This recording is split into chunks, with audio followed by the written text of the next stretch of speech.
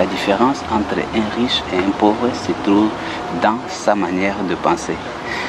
Bonjour ma personne personnelle, j'espère que tu vas bien et j'espère que comme moi tu as soif de réussite. Et bien si c'est le cas, on, est ensemble. tu l'auras bien compris dans la vidéo d'aujourd'hui, je vais partager avec toi les 13 conseils pour sortir de la pauvreté proposés par Ricardo Kanyama. Mais avant de continuer ma personne, j'ai trois annonces à te faire. 1. Abonne-toi si ce n'est pas encore fait. 2. Clique sur la cloche des notifications. Ceci afin d'être informé pour toutes les prochaines vidéos que je partagerai avec toi qui vont t'enrichir encore et encore. Et soit dit en passant ma personne, la prochaine vidéo que je partagerai avec toi, ça sera un résumé du livre de Cédric Combat qui s'intitule Comment devenir un accomplisseur de ma personne. Reste connecté parce que ce résumé va juste être énorme. Et si tu n'es pas encore abonné à notre page Facebook, je t'invite vivement à le faire parce que tous les matins, sur notre page Facebook Argent Livre 237, je partage un contenu très enrichissant et tu passes à côté de quelque chose d'énorme en n'y étant pas abonné. Et puis, troisième annonce ma personne, cette vidéo est sponsorisée par Colwise. Colwise qui est la première application africaine qui permet l'achat, l'échange, mais aussi et surtout la vente de livres entre particuliers. Donc maintenant que tu sais tout ça, ma personne, je te propose qu'on rentre tout de suite dans le vif du sujet.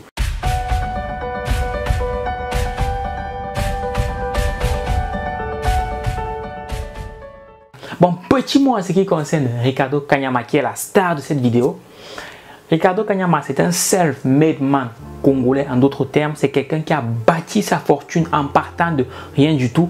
Il est d'ailleurs l'auteur du très célèbre livre qui s'intitule La chèvre de ma mère, qui est un livre qui traite de l'intelligence financière adaptée aux réalités africaines. Et si jamais tu souhaites le procurer, je te laisse mon numéro. Ce livre est juste énorme en termes d'intelligence financière. Et donc aujourd'hui, Ricardo Kanyama va partager avec nous 13 conseils qui pourront te permettre toi aussi à sortir du manque d'argent. Ceci dit ma personne, je te demande d'être très attentif à ce qui va suivre. Alors aujourd'hui, je vais partager avec vous les trois choses capitales que vous devez connaître si vous voulez sortir de la pauvreté et devenir riche. La première chose, c'est le désir. C'est le désir. La deuxième chose, c'est vous. Et la troisième chose, c'est le business. Donc, le désir, vous et le business. Vous devez maîtriser ces trois choses. Alors, au niveau du désir, il y a le rêve. Le rêve et l'objectif financier bien déterminé.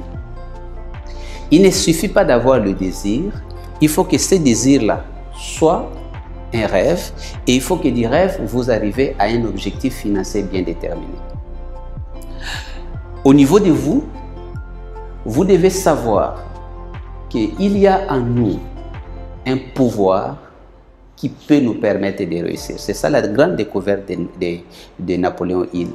Ce pouvoir-là est déjà en nous. Seulement, on ne nous a pas montré comment utiliser le pouvoir qui est en nous. Ce pouvoir-là, si vous l'utilisez dans un sens, il vous permet de réussir, de devenir riche, euh, d'avoir la bonne santé, euh, d'évoluer dans la vie. Si vous l'utilisez dans le sens contraire, évidemment, le même pouvoir crée en vous des difficultés, la pauvreté, les échecs.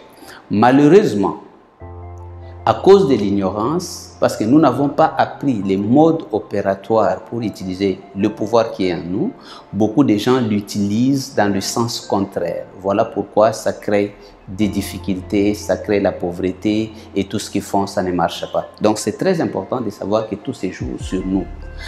Et enfin, le business, il faut s'orienter dans une affaire qui peut te rendre riche. De fait, il y a des affaires par leur nature qui ne peuvent pas rendre riche. Par exemple, si tu choisis un emploi, le fait que tu vends ton service à une seule personne, tu as peu de chances de devenir riche. Mais il n'y a pas que l'emploi, il y a beaucoup de business que les gens peuvent choisir parce qu'ils n'ont pas vérifié certains paramètres, ils triment là-dedans pendant des années et ils ne parviennent pas à devenir riches. Alors ici, tu dois bien comprendre quel genre de business, quelle autoroute, quelle voie qui permet à devenir riche et tu dois choisir donc cette voie-là pour devenir riche. Donc, le rêve, vous et le business. Alors, c'est pas que maintenant vous n'avez pas les rêves, mais maintenant je vais vous expliquer pourquoi les gens restent pauvres. Les gens restent pauvres parce qu'ici, il y a un rêve par défaut. C'est les rêves qu'on t'a inculqués depuis que tu es enfant, quand on t'a dit va à l'école. Derrière va à l'école, c'était toute une idée pour te dire, tu as le rêve de devenir employé, de recevoir un salaire, de vivre toute la vie comme ça. Et c'est ces rêves-là qui se réalisent dans ta vie. C'est ces rêves-là qui t'amènent aujourd'hui, par exemple, que tu gagnes un revenu de 3000 euh, 3000 euros. Voilà, c'est l'accomplissement d'un rêve. Maintenant, la première chose que tu dois faire lorsque tu veux vivre une autre vie, un autre avenir, tu dois changer de rêve. Tu dois rêver maintenant plus grand, plus grand. Si tu avais les rêves de gagner 3000 euros le mois, tu augmentes ton rêve, tu dis, je vais gagner par exemple 30 000 euros le mois. Ça, c'est très important. Évidemment, il y a tout un cours que vous devez faire pour comprendre le principe du rêve, pour comprendre comment fixer un objectif financier bien déterminé. Et il ne suffit pas seulement de fixer cet objectif, comment travailler pour que votre nouvel objectif puisse effacer l'ancien objectif ou votre nouveau rêve puisse effacer l'ancien rêve et occuper votre subconscient. N'oubliez pas que le rêve de la pauvreté, c'est un rêve qui a été inculqué en vous depuis l'enfance et ça occupe totalement votre, euh, votre subconscient. Aujourd'hui, vous pouvez vous battre si vous n'effacez pas ces rêves et remplacez par le rêve de la richesse, vous êtes condamné donc à l'échec.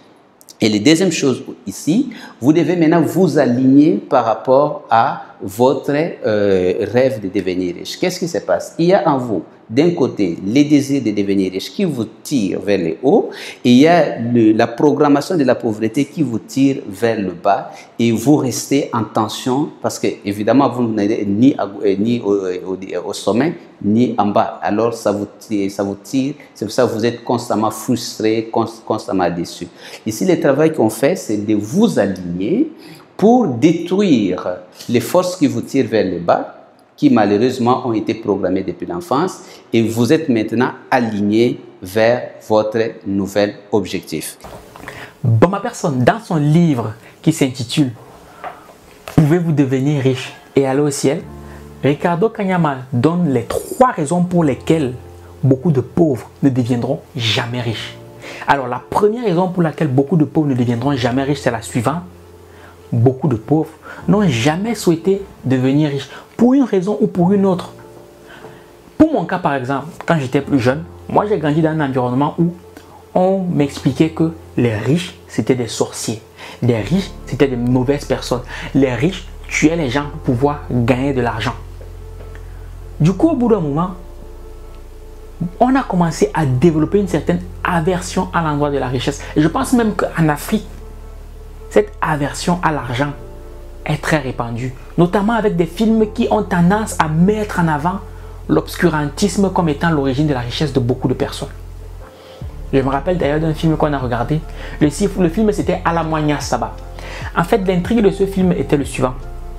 On avait des jeunes qui souhaitaient devenir millionnaires et pour ça, ils allaient voir une maman. Ils avaient, étaient son sein et en échange, ils avaient beaucoup d'argent ça leur donnait un pouvoir et aussi ils devaient vendre leur âme au diable ainsi que l'âme de leur, des membres de leur famille pour pouvoir gagner de l'argent.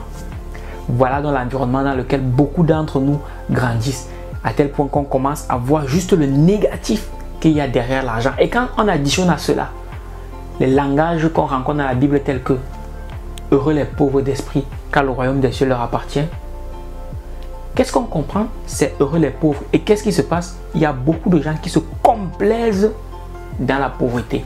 Ma personne, si tu souhaites sortir de ce mindset-là qui pousse à penser que on ne peut pas devenir riche de manière honnête, eh bien ma personne, je te conseille vivement ce livre parce qu'il va te permettre de comprendre que oui, c'est possible de devenir riche sans pour autant être méchant à partir du moment où on utilise sa richesse pour faire le bien. Je te laisse mon numéro si jamais tu souhaites te le procurer, et on verra ensemble comment faire pour te permettre d'entrer en contact avec ce livre.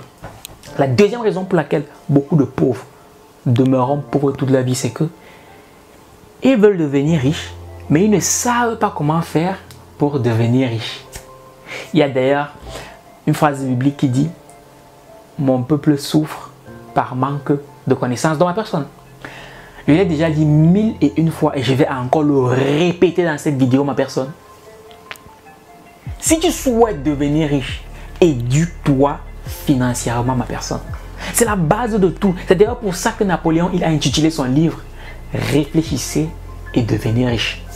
Dans Réfléchissez, il y a une notion d'intelligence financière parce que dis-toi que ma personne, ce que tu as dans tes poches est intimement lié à ce que tu sais en ce qui concerne l'argent. Parce que si tu en savais plus sur l'argent, tu en gagnerais beaucoup plus aujourd'hui. C'est d'ailleurs pour ça qu'il parle de business. Si tu connaissais le business qui te permet de gagner beaucoup d'argent, tu te serais lancé là-dedans. De ma personne. Éduque-toi financièrement. Et d'ailleurs, un livre que je te conseille, le livre de Ricardo Kanyama, euh, la chèvre de ma mère qui est juste énorme en termes d'intelligence financière. Et la troisième raison pour laquelle beaucoup ne deviendront jamais riches, eh ben c'est parce que il y en a qui veulent devenir riches. Ils savent plus ou moins ce qu'il faut faire pour devenir riche, mais ils n'ont pas encore fait ce qu'il faut pour devenir riche. Dans ma personne, si tu sais déjà ce qu'il faut, eh bien, passe à l'action. Parce que le plus beau des discours ne sert à rien si jamais tu ne passes pas à l'action. Alors aujourd'hui en Afrique, nous avons un problème de pauvreté. Pourquoi ça ne marche pas? Ça ne marche pas parce que toutes les politiques africaines de la formation de la jeunesse partent d'une thèse économique qui dit que le développement de l'éducation entraîne automatiquement le développement économique. Cela avait été prouvé dans l'histoire des États-Unis, dans les histoires de l'Europe, et tous les grands économistes, comme les Spencer, ont démontré qu'il y avait une corrélation entre le développement de l'éducation et le développement économique. Mais aujourd'hui, en Afrique, on se trouve devant un paradoxe. C'est quoi le paradoxe la même théorie qui avait permis euh, le développement dans d'autres pays, ici a donné un résultat inverse. Vous savez par exemple qu'en 1960, dans un pays africain qui accédait à l'indépendance, il n'y avait pas plus de 100 diplômés universitaires. Il n'y avait pas plus de 100. Vous pouvez vérifier dans la majorité des pays. Pourtant, les niveaux économiques que certains pays avaient en ces années-là, vers les années 60, étaient nettement plus élevés que les niveaux actuels, plus de 60 ans après. Alors qu'aujourd'hui, nous avons des millions de personnes formées à l'école, au lieu que cela entraîne euh, sa corrélation qui est le développement économique de notre pays, nous assistons à un résultat inverse. Nous assistons à un recul. Alors la question qu'on doit se poser et que nous devons nous poser aujourd'hui, c'est de savoir pourquoi cette théorie a marché ailleurs, aux États-Unis, en Allemagne, en Asie, et pourquoi cette théorie n'a pas marché ici chez nous en Afrique. J'ai été une personne qui a été très préoccupée sur cette problématique et j'ai investi le temps pour faire des recherches pour découvrir comment une théorie universelle peut marcher ailleurs et ne pas marcher ici? Je suis heureux d'avoir trouvé la réponse et cette réponse peut être quelque chose qui nous aidera à prendre, à, changer nos stratégies et nos actions pour qu'enfin nous puissions obtenir les résultats que nous cherchons qui est le développement de ce continent, le développement des Africains. Voilà. Mes recherches ont démontré qu'il y a deux phases de développement. La première phase, c'est la phase de l'acquisition de capital physique et financier. Et les Européens ont vécu cette phase depuis euh, le Moyen Âge jusqu'à vers le XVIIIe siècle. C'était durant cette phase que les riches se sont créés, qu'ils ont créé de banques, ils ont créé des capitaux financiers. Et le développement dont on parle ici, le développement économique qui est fonction du développement euh, euh, de l'éducation, ne peut être possible que dans un contexte où il y a déjà une création du capital physique ou du capital financier. Voilà pourquoi dans le 20e siècle, parce que cette théorie est même une théorie du 20e siècle, l'Occident qui avait déjà et passé sa période de création des capitaux, lorsqu'ils ont investi dans l'éducation, le, développement de l'éducation a entraîné le développement euh, de l'économie. Pourquoi ça ne marche pas en Afrique? Parce que euh, les circonstances ou les paramètres sont différents. Les Africains ont commencé par appliquer cette théorie de faire développer les pays par le développement de l'éducation en un moment où nous n'avons pas de capitaux financiers propres. Le capital financier dans un pays, c'est le capital soit des individus, soit de ces institutions, soit de l'État. Et parce que les Africains n'ont pas de capitaux, ils sont donc obligés aujourd'hui, ou ils se retrouvent aujourd'hui avec une population de millions de personnes qui ont été formées à l'école, qui ont des compétences, qui ont un savoir et un savoir-faire, mais qui ne trouvent pas de marché d'emploi. Pourquoi? Parce que personne n'a de capitaux pour investir.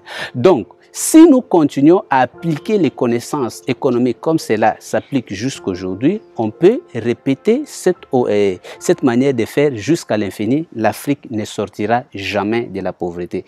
Nous irons de mal en pire. Il y aura de plus en plus de gens euh, qui, qui ont étudié et qui euh, ne trouveront pas d'emploi ou qui n'auront pas euh, de salaire décent à cause de la pauvreté, à cause de euh, l'offre qui dépassait la demande. Dans ma personne, Einstein avait pour habitude de dire la chose suivante.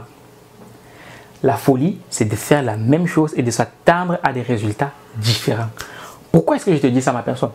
Je te dis ça parce que pour beaucoup d'entre nous, on a tous constaté que l'État a échoué dans sa mission de trouver un boulot à toute personne ayant une formation académique.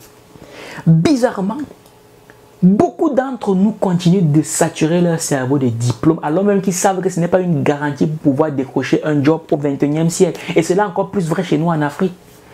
Parce que tu es sans ignorer que le système éducatif en Afrique francophone au 21e siècle est encore calqué sur le système éducatif français. Bilan des courses, Très souvent, les compétences ou les connaissances qu'on accumule à l'école eh ben, sont complètement déconnectées du milieu de l'emploi. C'est d'ailleurs ce qui explique une étude statistique qui a été menée en Côte d'Ivoire il y a peu. Et cette étude statistique révèle que plus de 80% des personnes ayant eu une formation académique ne trouvent pas d'emploi dans le secteur formel. Bien des courses, ils sont obligés de se rabattre dans le secteur informel. C'est par exemple la raison pour laquelle on a des gens qui ont un master en histoire géo, un master en économie, qui se retrouvent en train de vendre des habits à la sauvette, ma personne. Oui, ma personne, c'est de ça qu'il s'agit. Parce que ce que tu ne sais peut-être pas, c'est que quand tu vas à l'école, ce sont les investisseurs, les entrepreneurs qui doivent décider de ce qu'il y a dans ton manuel scolaire. Parce qu'une fois que tu as ton diplôme, c'est pour ces entrepreneurs-là que tu dois aller travailler.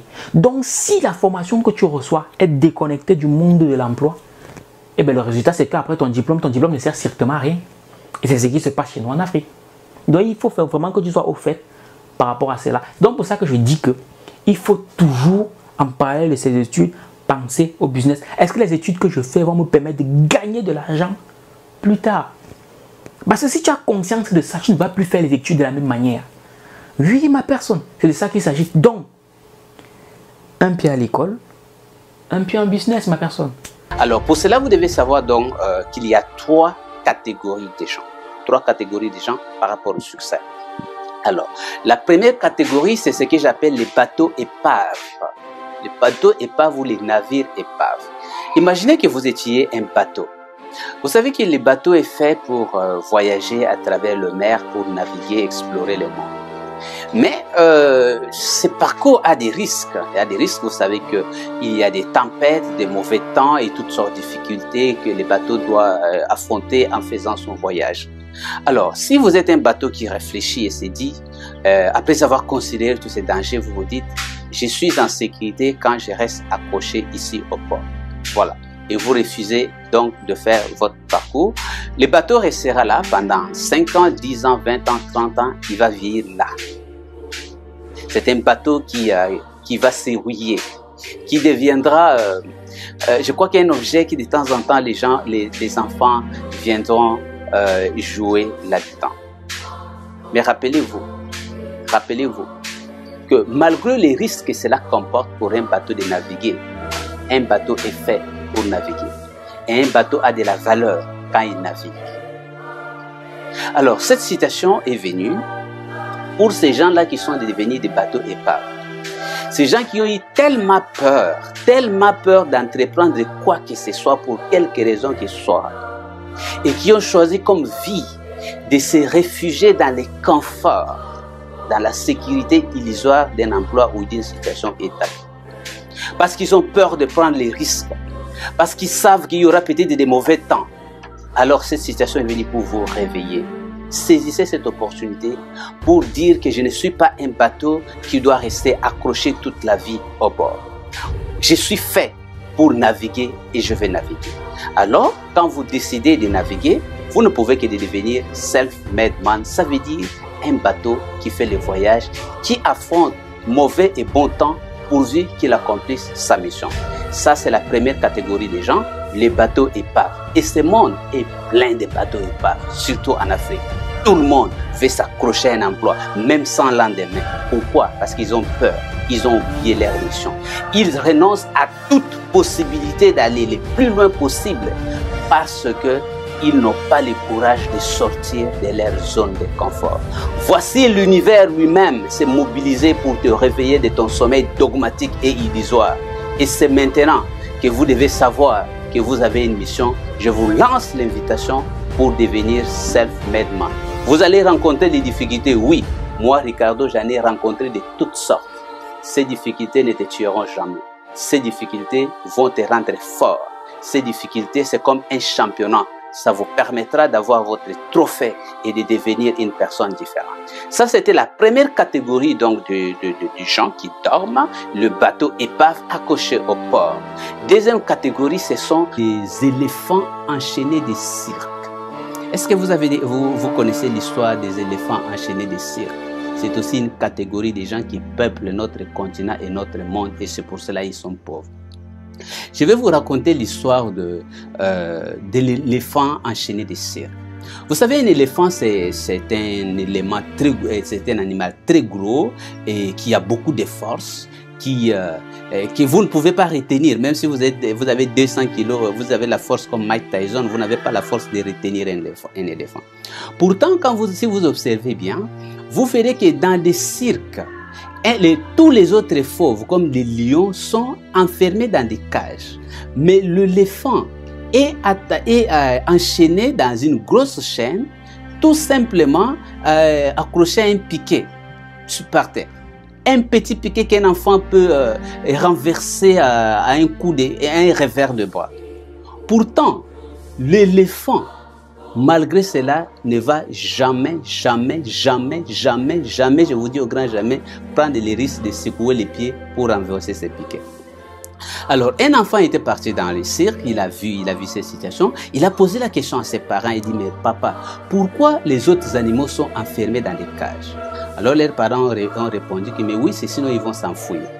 Il dit, mais, mais pourquoi l'éléphant n'est pas enfermé? Pourquoi l'éléphant n'est pas enfermé? Alors les, parents disent oui, mais l'éléphant est euh, bon, il est enchaîné. Il dit mais j'ai vu que l'éléphant est enchaîné, mais la chaîne est tout simplement attachée à, à, à accrochée à, un piquet à, terre. Pourquoi il ne s'enfuit pas? Pourquoi il ne s'enfuit pas? Les parents ne lui ont pas donné des réponses et il a continué ce chemin. Il a demandé un jour à un homme intelligent comme moi et, il lui a donné la réponse et voici la réponse. L'éléphant ne peut pas s'enfuir parce que quand il était petit, il a été dressé. Comment on dresse l'éléphant de cirque On va l'attacher à une chaîne plus solide, accroché à un support solidement euh, attaché et l'éléphant va se battre, le petit éléphant va se battre, va se battre, va se battre, va se battre. Mais comme il est petit et qui n'a pas encore la force pour pouvoir se euh, détacher de, de, de, de ce grand support, jusqu'au jour où il va se fatiguer, il va s'écrouler et il va prendre la décision malheureuse de se dire, je ne suis pas assez fort pour me libérer. Et à partir de ce jour-là, l'éléphant décide de ne plus tenter quoi que ce soit pour se libérer. Voilà pourquoi même si cet éléphant, a, cet éléphant a grandi et maintenant puissant, grand et costaud avec toute la force pour se libérer et avancer, l'éléphant restera enchaîné et restera immobile chaque fois qu'il verra qu'il est enchaîné avec un piquet alors que ce piquet est légèrement piqué par, dans le sol. C'est la situation de tous ces gens qui ont essayé de faire quelque chose, s'il vous plaît. Ils ont essayé une affaire, ils ont essayé une initiative, ça n'a pas marché. Ils ont été escroqués par préparation ou par les erreurs du débutant. Ils ont perdu, ils ont échoué et qui sont arrivés à la même conclusion que l'éléphant, qu'ils ne sont pas capables, ça ne sert à rien de prendre les risques et ils ne peuvent plus rien apprendre ni essayer les éléphants. Alors, cette situation est venue pour vous faire sortir de la situation d'éléphants enchaînés de cirque. Pour secouer les chaînes afin que vous puissiez vous rendre compte que non, vous êtes, vous êtes, vous avez tout en vous, vous avez le pouvoir pour avancer et vous ne devriez pas vous comporter encore comme cet éléphant qui, a, qui, qui ne pense plus rien essayer parce qu'il a mis dans la tête que c'est impossible, ça ne marchera pas, je n'ai pas assez de ressources. Alors la troisième catégorie, c'est cette catégorie que je vous invite. Oh, mobilisez-vous de partout vous êtes. Notre monde a besoin de self-made man. Des gens qui font la différence et qui vont rebondir. Vous savez, l'Afrique ne peut pas devenir riche s'il n'y a pas d'Africains qui deviennent riches. La richesse d'un continent, c'est la somme des richesses de sa population. Et si nous avons une population qui euh, se comporte comme les, le bateau épave, qui se comporte comme les éléphants enchaînés des cirques, qui ont peur de prendre des initiatives ou qui ont conclu que ce n'est pas possible, nous ne pouvons pas sortir de la situation actuelle. Alors, cette opportunité vient pour nous rappeler que nous devons prendre des risques calculés, nous devons devenir des self-made men. Ça veut dire des gens décidés à accomplir quelque chose et qui se battent malgré les échecs temporaires, qui avancent pour obtenir la victoire, pour faire la différence. L'un d'eux, celui que j'avais découvert et dont j'avais suivi le modèle et qui m'a beaucoup aidé, c'est Henry Ford. Je vais vous parler d'Henry Ford si vous ne le connaissez pas. Vous savez, Henry Ford, c'est vraiment le genre de self-made man. Parce que Henry Ford, euh, il est né pauvre. Il est né pauvre et l'histoire nous dit que jusqu'à ses 40 ans, il travaillait dans un garage avec son ami. Et d'après l'évaluation de professionnels, on estimait que son ami était plus apte et intelligent que lui. Cependant, suivez-moi bien. Son ami a continué sa vie tristement dans ce confort de cet emploi où on se plaint tous les jours, mais on continue à le faire tout de même. Peut-être il y a eu toutes sortes d'événements pour les, pour les bousculer, mais il ne s'est pas réveillé parce qu'il dormait profondément. Et Henry Ford a pris les risques. Il est devenu self-made man. 30 ans après, 30 ans après, alors que Henry Ford était devenu parmi les hommes les plus puissants et les plus riches de notre temps, son ami travaillait encore dans le même garage. Vous voulez vraiment être celui-là qui 30 ans après sera encore au même niveau? Par peur, parce que vous avez peur de prendre le risque, parce que vous avez peur de devenir un self-made man, parce que vous avez peur de vous libérer de l'idée de l'éléphant enchaîné des cirques. Je pense que c'est le choc que vit le monde actuellement est assez fort pour vous réveiller, pour vous dire que vous devez choisir le modèle, le modèle d'Henry Ford. Bon, ma personne, j'aimerais attirer ton attention sur deux choses.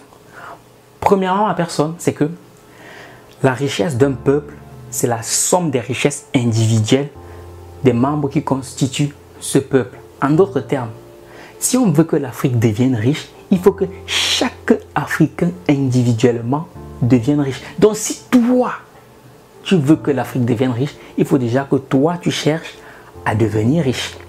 Et regarde ce qui va se passer quand tu vas devenir riche. Si tu deviens riche aujourd'hui, les hommes évoluent par identification. Donc, si un Africain voit un autre Africain qui est devenu riche en partant de rien du tout, eh bien, il va se dire, tiens, si lui, Africain, a pu partir de rien et devenir riche, ça veut dire que moi aussi, je peux devenir riche. Et donc, pour ça qu'on dit que la réussite inspire ma personne. Donc deviens riche et tu vas inspirer les autres autour de toi à devenir riche. Deviens riche, tu vas influencer les autres autour de toi à devenir riche. Et Dieu seul sait à quel point on a besoin de plus en plus de personnes influentes en Afrique, ma personne.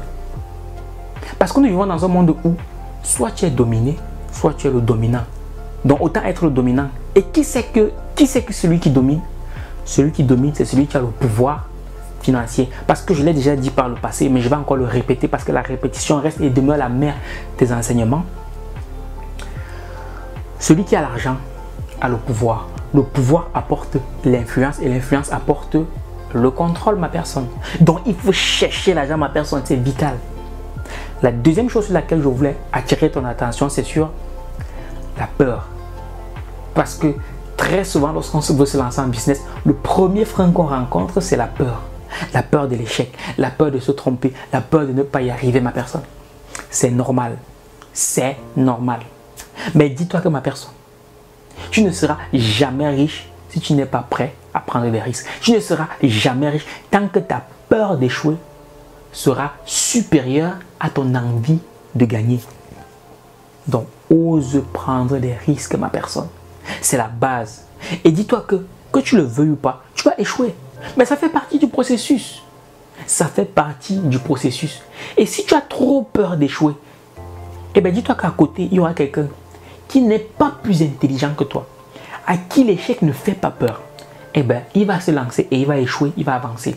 Toi, qui a eu peur d'échouer, qui n'a pas osé, certes, tu ne vas jamais échouer. Tu vas être là, tu ne vas pas avancer. 5 ans, tu restes sur place. Alors que lui à côté, qui lui n'a pas peur d'échouer, pendant 5 ans, il va échouer, échouer, échouer, échouer. Mais il va avancer. Et tu vas te rendre compte que 5 ans plus tard, tu vas dire, ah, c'est moi qui avais appris les maths à ce gars. Et aujourd'hui, c'est lui qui me commande. C'est comme ça ma personne. Oui, il a accepté de payer le prix, il a accepté de suivre le processus. Et dans le processus de succès, il y a toujours, il faut se confronter sans cesse à l'échec. Mais le business a ceci de magique, c'est que tu peux échouer 99 fois. Mais il suffit que tu réussisses une seule fois pour que ça suffise pour combler tous les échecs que tu as rencontrés. Et puis moi, je n'aime même pas parler d'échecs. Moi, j'aime parler d'expérience. Parce que comme le dit Nelson Mandela, soit tu gagnes, soit tu apprends ma personne. Donc il faut voir l'échec pour ce que l'échec est vraiment. L'homme peut changer sa vie en, changeant sa manière de penser. Et euh, les études par les spécialistes ou les philosophes des succès financiers ont tout simplement démontré que la différence entre un riche et un pauvre se trouve dans sa manière de penser. Donc ce n'est pas d'abord à voir avec euh, des possessions euh, matérielles ou financières, mais ça a à voir avec la manière de penser.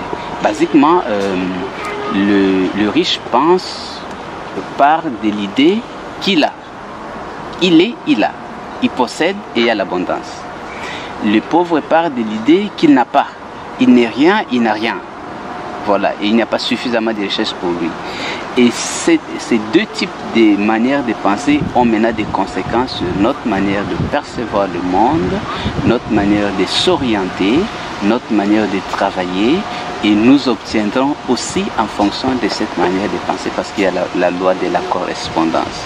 Et malheureusement pour, euh, pour une personne née d'une famille pauvre, grandie dans un milieu pauvre, il va adopter par défaut la manière de penser de pauvre. Donc la pensée de manque, la pensée de ne pas avoir, la pensée de ne pas être capable.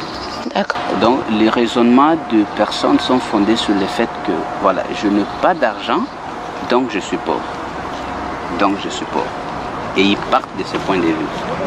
Or, il faut comprendre qu'il existe une relation entre euh, l'énergie financière, j'appelle ça l'énergie financière, et les autres formes d'énergie que nous possédons. Tes idées en soi peuvent être une richesse. Tes pensées peuvent être une richesse. Tes talents peuvent être une richesse. Ton temps peut être une richesse. Si vous pensez de cette manière et que vous pouvez utiliser euh, constructivement votre temps, que vous pouvez développer certains talents que vous avez, que vous pouvez avoir de grandes idées, en fait, donc vous êtes riche. Vous êtes riche à l'intérieur et par la loi de la convertibilité, vous chercherez comment travailler pour obtenir son équivalent matériel. Je ne sais pas si vous comprenez. Donc Dieu nous a donné cette possibilité-là de penser. Nous pouvons adopter la manière de penser d'un riche. si tu penses comme un riche, tu finiras par croire comme un riche, tu finiras par travailler comme un riche et tu pourras aussi obtenir comme un, comme riche. Dans beaucoup de formations, j'ai dit voilà, la logique c'est que, euh, voilà la logique de la pauvreté. On dit voilà, je vais travailler dur, je vais obtenir de l'argent et je vais devenir riche. Cette logique est contraire à la logique de, de devenir riche. La logique de devenir riche dit je dois devenir riche, puis travailler comme un riche et enfin obtenir la richesse. Pour devenir riche, il faut d'abord penser comme un riche. Pour ainsi dire, les riches ont une façon de penser qui est différente de la façon de penser des pauvres. Maintenant, une question se pose. Comment pensent les riches et comment pensent les pauvres? Les riches pensent que pour dépenser, il faut d'abord produire. Alors qu'à l'inverse, les pauvres, tout ce qui les intéresse, c'est consommer. Et on le voit encore plus chez nous en Afrique parce que nous sommes de super consommateurs. Et on ne produit pas grand-chose, ma personne, même le cul dent, on importe. Et après, on va dire oui, on appauvrit l'Afrique. Oui, c'est nous les Africains qui produisons du pétrole. Non, ma personne, on ne produit pas de pétrole. On est venu trouver la matière première sur place. On n'a fait aucun effort pour avoir le pétrole sous nos terres. Non, on n'a fait aucun effort. Bon, maintenant, pour devenir des producteurs de richesse, il faut réussir à transformer ce pétrole à l'état brut en pétrole qu'on peut utiliser dans les foyers. À ma personne. Parce que ce qu'il faut savoir, c'est que, comme je disais tantôt, c'est par l'entrepreneuriat qu'on développe un pays. Et dans l'entrepreneuriat aussi le secteur industriel. Et dans l'industrie, il y a trois secteurs. Le secteur primaire, qui, quand on produit de la matière première, le secteur secondaire, dans l'industrialisation, la transformation de la matière première, et le secteur tertiaire, qui est la distribution. Et dans ces trois secteurs, il y a un secteur dans lequel on produit la richesse. C'est dans le secteur industriel, dans le secteur secondaire. Donc si on veut devenir riche, il faut qu'on investisse dans la transformation de la matière première en produits manufacturés parce que c'est là qu'on produit de la richesse. C'est là qu'on donne de la valeur aux produits. Donc si on veut devenir riche, commençons par penser comme les riches. Et comment pensent les riches? Ils pensent à produire d'abord avant de consommer. Ils dépensent moins que ce qu'ils gagnent. Et ma personne, puisqu'on est toujours dans la pensée, Robert Kiyosaki dit dans son livre qui s'intitule Père riche, Père pauvre que il faut faire très attention aux pensées qu'on décide de choisir comme étant les nôtres. Parce que ce sont nos pensées qui dirigent nos actions et ce sont nos actions qui déterminent notre vie future, ma personne. Un riche, quand il voit une montre, par exemple celle-ci, il se pose la question de savoir comment est-ce que je peux faire pour acquérir cette montre. Alors quelqu'un qui pense comme un pauvre se dit, je ne peux pas me permettre d'acquérir cette montre. Père il dit à son fils, va à l'école, obtient des bonnes notes pour pouvoir créer de l'emploi pour les autres. Père pauvre, à l'inverse, disait à son fils, va à l'école, obtient de bonnes notes pour savoir rédiger un bon CV pour devenir l'employé de quelqu'un d'autre. Tu vois que celui qui pense à créer de l'emploi, il ne peut pas être dans le même état d'esprit que celui qui pense à devenir employé. Et on sait tous que les employeurs gagnent toujours plus d'argent que les employés. Parce qu'un employeur n'a jamais eu pour but de rendre son employé riche. Non, non, ma personne. Je vais encore te redonner la même statistique dont j'ai parlé par le passé c'est que dans le chiffre d'affaires d'une entreprise, il y a moins de 15% qui est affecté à la masse salariale. En gros, si ton boss te paye 100 000, ça veut dire que tu lui fais gagner au moins 600 000. Dans ma personne, pense comme un riche, pense comme un producteur, pense comme un entrepreneur. Toujours jeune, j'ai dit aux jeunes, malheureusement, euh, c'est pas n'importe qui que vous rencontrez aujourd'hui euh, parce qu'il y a quelques attirances que vous devez forcément vous, marier. Donc, lorsque vous voulez vous marier, vous devez d'abord vous poser la question quelle est la vision? Chacun doit donner sa vision. imagine que euh, ta femme, sa vision, c'est celle-ci, et toi, ta vision, c'est celle-là, ou l'inverse.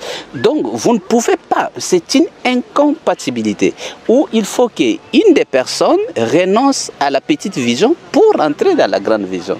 Et ça, ça s'est fait dans les dialogues, ça, ça s'est fait par les échanges de ce que vous découvrez. D'ailleurs, quand vous découvrez la logique de création des richesses, c'est tellement implacable que vous ne finissez que l'adopter. Les restes, question de, de sortir de la culture ancienne qui prend un peu de temps. On ne se met pas avec quelqu'un juste par rapport à son physique, mais on se met avec quelqu'un par rapport à sa vision. Donc avant de choisir ton copain ou ta copine, il faut d'abord t'assurer que vous partagez la même vision de la vie. Parce que dis-toi qu'à un moment donné, c'est vrai qu'au début, c'est, tout est en rose, tout est bien, tout est parfait. Mais à un moment donné, ça va devenir très difficile. Il y aura des périodes de turbulence. Mais c'est la vision que vous avez de la vie qui va vous permettre de rester soudé, de continuer d'avancer. Et quand je parle de vision, ce qu'il faut savoir, c'est que l'argent, c'est quelque chose qui structure les couples. Il faudrait que vous ayez la même vision par rapport à l'argent, sinon votre couple ne mettra pas long feu. C'est capital, ma personne. Parce que la majorité des couples se séparent pour des problèmes d'argent, parce que l'argent, c'est quelque chose qui est présent dans tous nos aspects de la vie, et c'est quelque chose qui structure les couples comme tu n'as pas idée. Voilà pourquoi il est important que vous ayez la même vision de la vie en ce qui concerne l'argent. Maintenant, on va partir euh, dans, le cas de figure où j'ai suivi vos conseils.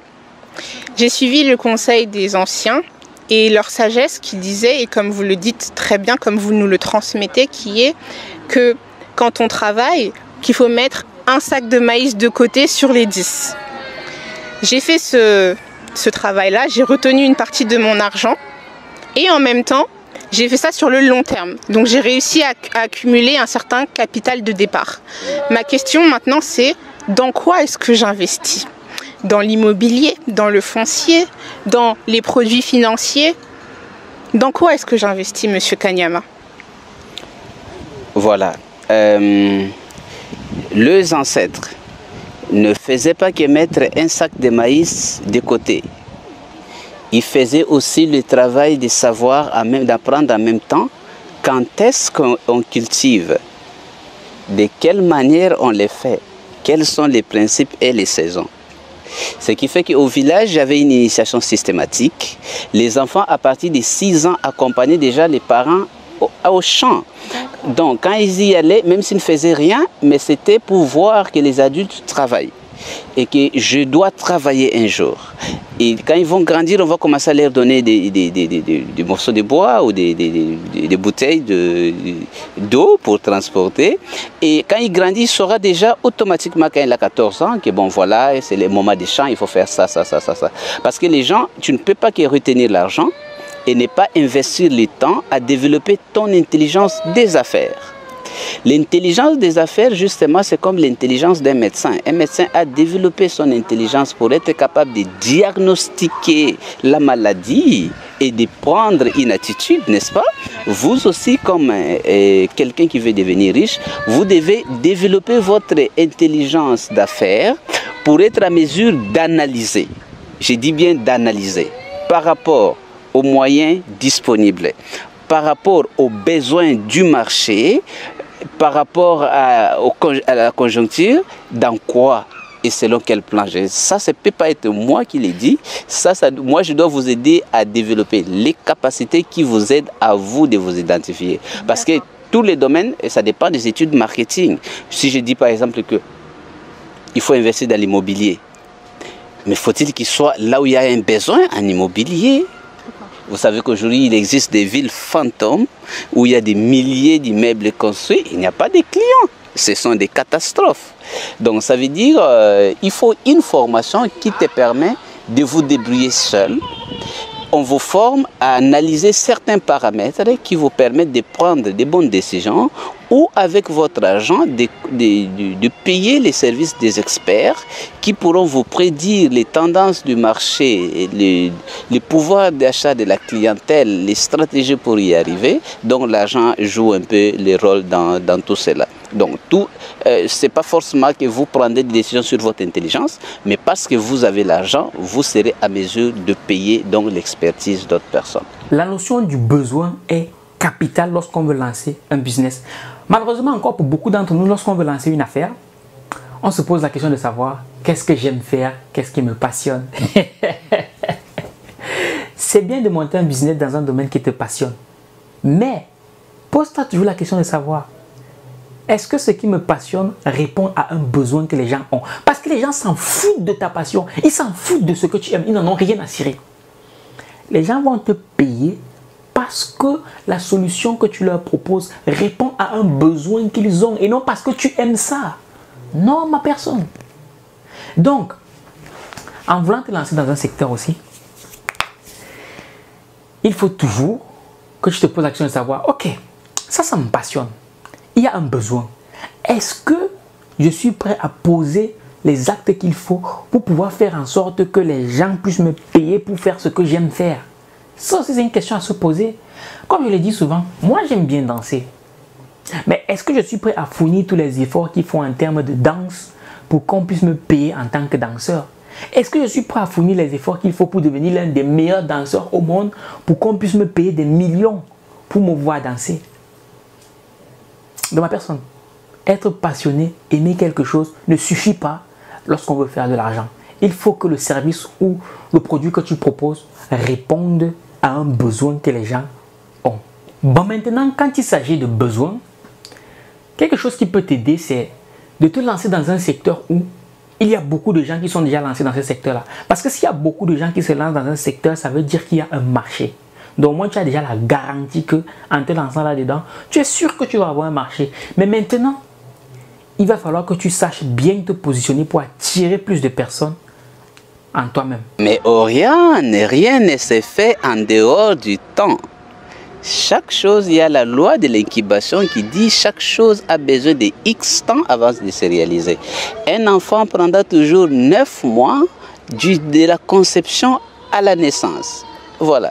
Quand tu te formes comme professionnel, le cursus aura toujours beaucoup de temps. On te dira qu'il faut 5 ans avant de finir le master, n'est-ce pas? Mais si les gens prennent 5 ans pour finir le master, pourquoi ne pas prendre 5 ans pour devenir millionnaire? Pourquoi quand il s'agit de la richesse, quelqu'un qui est resté 20 ans dans la pauvreté, il était patient, mais quand il veut devenir riche, il veut le devenir par coup de baguette magique aujourd'hui, mais ce n'est pas possible parce que c'est un processus. Dans le processus, il y a les temps où vous allez apprendre, j'appelle l'état de l'apprentissage, mais il y a les temps de la digestion où vous allez digérer. Parce que sans digestion, vous ne serez pas en mesure de mieux comprendre et d'appliquer. Et il y a les temps où vous allez appliquer et il faudra du temps pour avoir les résultats.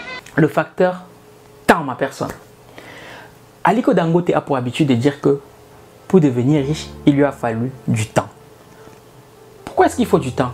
Eh bien parce que dis-toi que ma personne, pour devenir riche, il faut déjà développer une certaine intelligence financière. Or, nous sommes tous d'accord sur le fait que L'intelligence ne se donne pas en un jour. Je peux te donner ce livre en un jour. Mais pour que tu comprennes les principes qui sont édités dans ce livre et pour que quand tu vas les appliquer, que ça produise les résultats que tu attends, il va falloir du temps. Mais il va de soi que si tu travailles avec acharnement, plus tu travailles, plus tu mets en application ces principes, le temps pour atteindre ton objectif sera beaucoup plus court. Dans ma personne, mets-toi à l'œuvre et laisse le ciel faire son travail. Vous voulez combattre la pauvreté, vous devez d'abord combattre la pauvreté mentale. La pauvreté mentale. Regardez, euh, la pauvreté matérielle, c'est la conséquence de la pauvreté mentale. Si mentalement vous êtes pauvre, vous ne pouvez que vivre comme pauvre financièrement et matériellement. Donc j'ai commencé par, euh, apprendre, par euh, cultiver mon intelligence, par euh, changer ma manière de penser. N'oubliez pas que la plus grande découverte de notre temps a été faite par William James, qui a dit l'homme peut changer sa vie en changeant sa manière de penser. Et de là est née euh, la théorie qui est universelle que tout le monde connaît, que si tu veux devenir riche, il faut penser comme les riches, n'est-ce pas? Parce que la différence entre les riches et les pauvres se trouve dans la manière de penser. Donc j'avais investi assez de temps pour changer d'abord ma propre manière de penser. D'ailleurs, n'oubliez pas que le combat que je fais aujourd'hui, c'est juste d'abord pour changer la manière de penser des pauvres Parce que rien ne bloque autant la vie d'un pauvre que sa programmation. Et la programmation ne vient que de sa perception et sa manière de penser. Tout, tout ce que j'enseigne, ce sont des, des principes bibliques. Les principes bibliques parce que la Bible parle de la, de la richesse en termes de prospérité n'est-ce pas? Et la Bible parle justement de, de, la prospérité intérieure et de la prospérité extérieure. Si vous lisez dans, dans, 3 Jean, la Bible dit, je désire que tu prospères comme prospère l'état de ton âme. Donc ça, c'est la base de l'enseignement sur le succès. Si ton âme, ton intérieur ne progresse pas, ton extérieur ne peut pas progresser. Et nous voyons que dans la Bible, euh, Dieu a béni des gens. La Bible dit clairement que de la poussière, Dieu retire les pauvres. Et des gens comme Isaac, en une année, il a prospéré. Ça veut dire sa richesse est passée euh, et, a grandi plus de 100 fois. Donc nous croyons que, euh, personnellement, je crois que Dieu nous a créés pour prospérer. Notre, nos avoirs doivent grandir comme grandir l'état de notre âme. Donc ce que nous enseignons, c'est aussi une manière de d'accomplir la parole de Dieu. Les peuples congolais en général, vous ne devez pas savoir que nous avons été colonisés par les Belges et le Belge a fait un travail de lavage des cerveaux terrible. Il a inculqué très fortement l'idée que nous devons être pauvres pour aller au ciel et euh, c'est une euh, croyance difficile à détruire aujourd'hui. Mais moi je pense que si vous regardez sur le plan logique, chaque enfant désire, chaque parent désire que son, son fils puisse réussir. Alors Dieu ne doit pas être un sadique qui voudrait que ses enfants échouent. Je, je crois fermement que Dieu n'est pas pour euh, le chômage de, euh, de, la jeunesse congolaise. Dieu n'est pas pour euh, cette souffrance, hein, cette pauvreté, parce que la pauvreté c'est une stagnation. Mais je comprends qu'il y a des gens qui ont fait une, une, lecture, une interprétation fausse de la Bible et qui croient qu'il faut vivre pauvre pour aller au ciel. Mais de même que il y a eu des changements dans notre société, des gens qui n'utilisaient pas les téléphones portables aujourd'hui utilisent des, téléphones portables. Nous devons aussi faire ces changements de paradigme, comprendre que la pauvreté ne vient pas de Dieu et Dieu nous a créés pour devenir riches. Bon, ma personne, ainsi s'achève cette vidéo. Et s'il y a bien une chose que j'aimerais que tu retiennes, c'est la chose suivante. La pauvreté est d'abord mentale avant d'être matérielle. Donc, si tu souhaites devenir riche, commence par devenir riche dans ta tête. Parce que pour beaucoup d'entre nous, on nous a sans cesse répété, tu veux devenir riche, travaille dur. Bilan des courses, on travaille dur, mais on n'obtient pas toujours les résultats qu'on souhaite avoir. Parce qu'au fond, le maçon travaille très dur. Le couturier travaille très dur. Le médecin aussi travaille très dur. Mais nous sommes tous d'accord sur le fait qu'il ne gagne pas la même quantité d'argent. Et bien cela tient au fait que tu es payé pour la valeur que tu apportes à la tâche que tu accomplis et non pour la dureté de la tâche que tu accomplis. C'est la valeur ajoutée que tu apportes à la tâche que tu accomplis. Et pour apporter plus de valeur à une tâche, il faut faire marcher son cerveau, ma personne. Donc voilà ma personne, j'espère que cette vidéo t'aura été utile.